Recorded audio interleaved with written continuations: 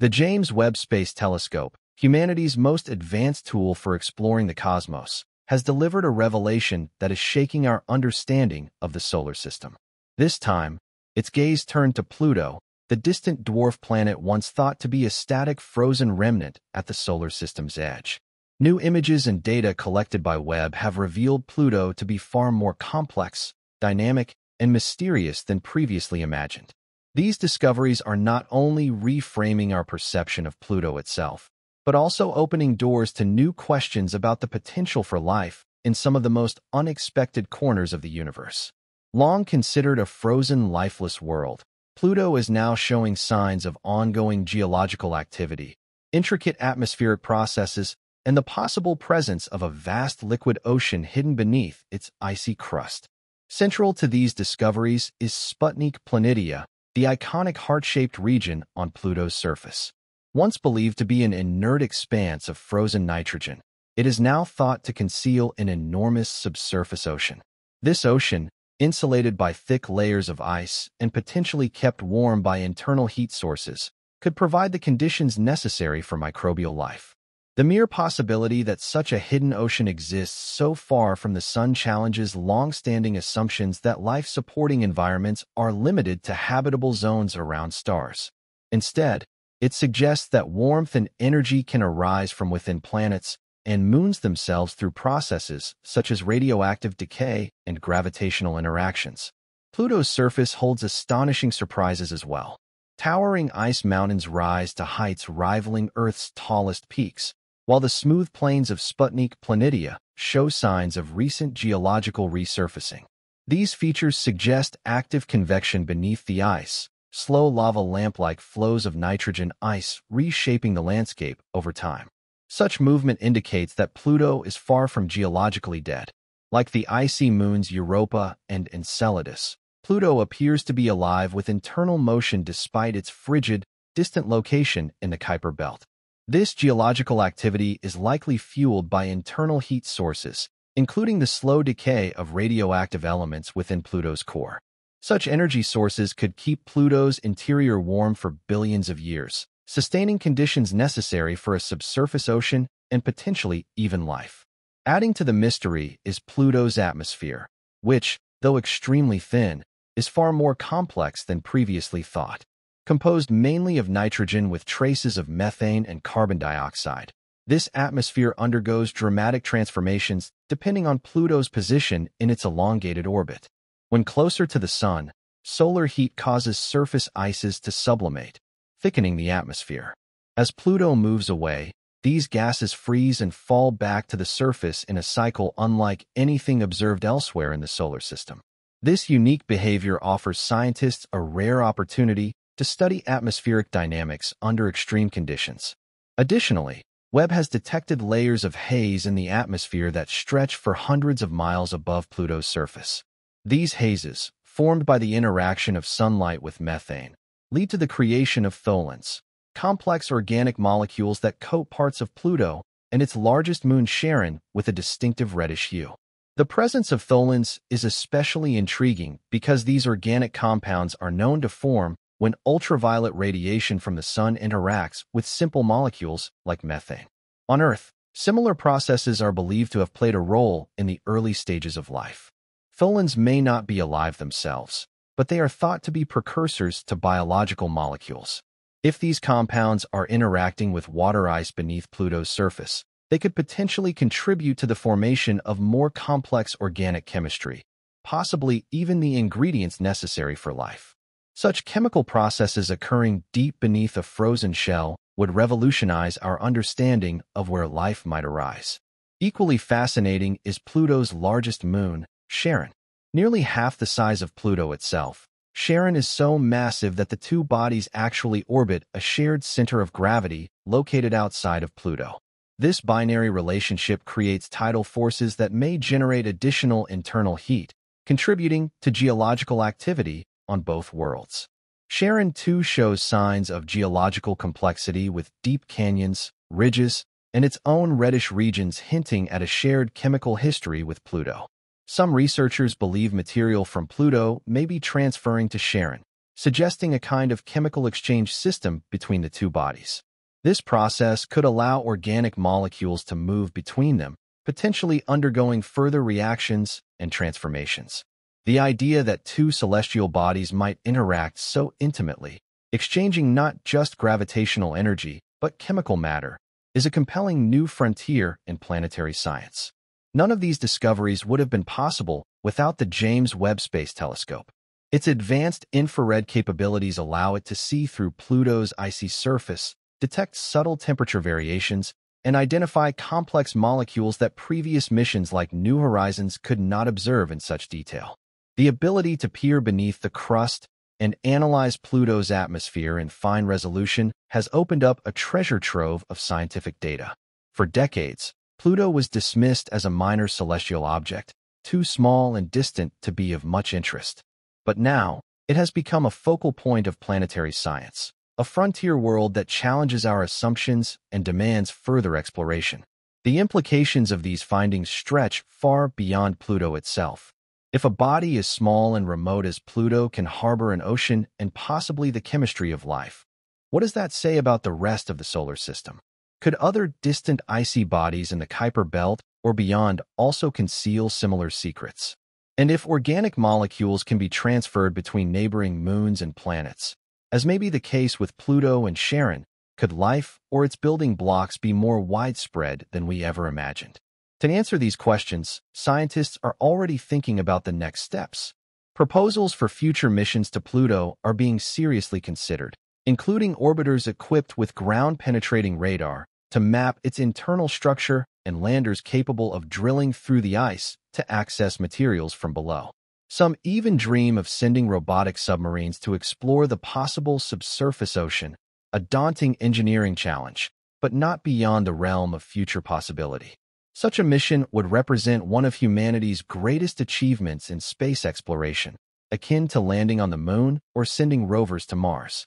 Even now, as we wait for these future missions to become a reality, the data provided by the James Webb Space Telescope continues to astound. Webb has detected unusual patterns of energy surrounding Pluto, possibly hinting at interactions between its thin atmosphere, solar wind, and the broader Kuiper Belt environment. Despite lacking a strong magnetic field like Earth's, Pluto still exhibits magnetic-like phenomena, including a tail of ionized particles extending into space. These interactions suggest that even small, distant worlds are active participants in the cosmic ballet of solar and interstellar forces. As humanity prepares to venture deeper into the Kuiper Belt, Pluto stands as a beacon of what lies ahead, an invitation to explore, to question, and to wonder. It has transformed from a forgotten outpost into one of the most compelling and dynamic worlds in our solar system. A reminder that the universe still holds secrets in the most unlikely places, waiting patiently for us to find them. From its mysterious geology to its ever-changing atmosphere, from its potential for harboring life to its interactions with Charon, Pluto is rewriting the rules of planetary science. Thanks to the James Webb Space Telescope, the story of this distant world is only just beginning. In the years to come, as technology advances and exploration expands, Pluto may prove to be more than just a scientific curiosity. It may become the key to unlocking one of humanity's oldest questions. Are we alone? If the answer lies beneath the frozen surface of a distant dwarf planet, then every new discovery brings us one step closer to understanding our place in the cosmos.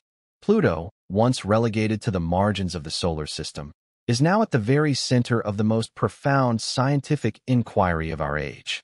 Its dramatic transformation in our understanding from a distant, inert rock to a complex and potentially habitable world has sparked an unprecedented wave of interest in exploring the far reaches of our solar system. The James Webb Space Telescope has played a crucial role in this shift, revealing that Pluto is not merely a relic of the solar system's formation, but a dynamic and evolving body. These findings are not only rewriting textbooks, but also expanding the boundaries of where we might find life and how planetary systems develop over time. A key revelation from Webb's observations is the presence of active geological processes on Pluto. Traditional models held that such activity required a planet or moon to be relatively large with a substantial internal heat source. Yet Pluto, despite its small size and frigid location nearly 6 billion kilometers from the Sun, shows signs of internal heat driving convection and surface reshaping. This raises a critical point. If Pluto can maintain geological activity under such conditions, then many other icy bodies scattered throughout the Kuiper Belt may be similarly dynamic and overlooked. Pluto's nitrogen ice plains, for example, lack the cratering seen on older planetary surfaces, suggesting ongoing resurfacing. That reshaping could result from slow creeping flows of nitrogen glaciers, ice that, unlike water, behaves like a liquid at the extreme cold of Pluto's surface temperatures. This geological activity may also hint at an insulated subsurface ocean, kept warm not only by residual heat from Pluto's formation, but also by the decay of radioactive isotopes within its rocky core. These heat sources, while modest compared to those of gas giants, are potentially enough to maintain liquid water under kilometers of ice. Just as deep-sea hydrothermal vents on Earth teem with life despite lacking sunlight, similar environments could exist within Pluto. The hypothesis gains support from models indicating that Pluto's icy shell might flex and crack in ways consistent with a mobile layer beneath, a behavior typical of icy moons like Europa and Enceladus, themselves prime candidates in the search for extraterrestrial life. One of the most unexpected findings is the role of Charon, Pluto's largest moon, in this complex system. The Pluto-Charon pair behaves more like a binary system than a typical planet-moon relationship. Because of Charon's size, roughly half the diameter of Pluto, the two bodies orbit a common center of gravity that lies outside of Pluto itself. This configuration means gravitational interactions between the two are intense and ongoing. These tidal forces can generate heat within both Pluto and Charon, potentially maintaining subsurface activity. Furthermore, surface features on Charon, such as massive canyons, ridges, and dark reddish patches, suggest a dynamic past that may still be playing out. These features could be caused by internal pressures and geological activity linked to the moon's own thermal history.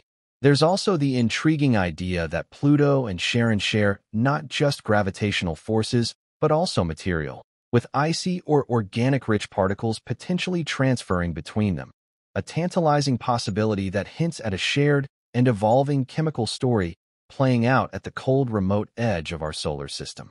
This possibility of material exchange between Pluto and Charon is especially fascinating because it suggests a kind of primitive natural laboratory where chemical reactions can be seeded and evolve over time. If organic-rich ices or tholins from Pluto migrate to Charon or vice versa, they could undergo further transformation under different conditions of temperature, pressure, and radiation exposure. Over geological timescales, such exchanges might foster increasingly complex chemistry, potentially even leading to the building blocks of life. It is a striking idea that two distant frozen worlds at the edge of the solar system might not just interact gravitationally, but share and modify organic materials in a slow, patient chemical dance.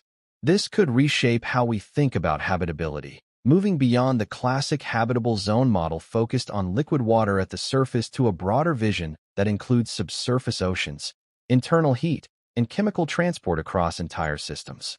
Furthermore, Webb's infrared vision has allowed scientists to observe Pluto's surface and atmosphere in unprecedented detail, identifying subtle temperature variations that point to active internal heat sources. By studying these variations, researchers are piecing together a thermal map of Pluto that reveals hot spots and cooler regions, clues to where convection might be strongest and where the ice shell may be thinnest. Such maps will be invaluable for planning future missions, indicating the best places to search for evidence of a subsurface ocean or to drill for samples that might contain preserved organic compounds. The telescope's ability to detect atmospheric hazes also offers insights into Pluto's complex climate cycles, helping scientists model how its atmosphere thickens and collapses over its long elliptical orbit. Understanding these cycles doesn't just shed light on Pluto itself. It improves our knowledge of atmospheric processes on other icy bodies and even exoplanets with extreme orbits. Charon, too, is coming into sharper focus thanks to Webb. Once dismissed as a drab, inert moon, it now appears as a dynamic companion with a violent past. Its vast canyons hint at internal stretching or even ancient subsurface oceans that froze and expanded, cracking the crust apart. The dark reddish patches at its poles are likely tholin deposits, possibly created from methane escaping Pluto, captured by Charon's gravity and chemically transformed by solar radiation. This suggests an active system of exchange between the two worlds, with their histories and chemistries intimately linked. Webb's data have inspired new theories about how the Pluto-Charon system formed, perhaps from a massive collision early in the solar system's history that gave both bodies their strange binary-like orbital dance. Such a history would explain their shared materials and chemical signatures, reinforcing the idea that planets and moons can have deeply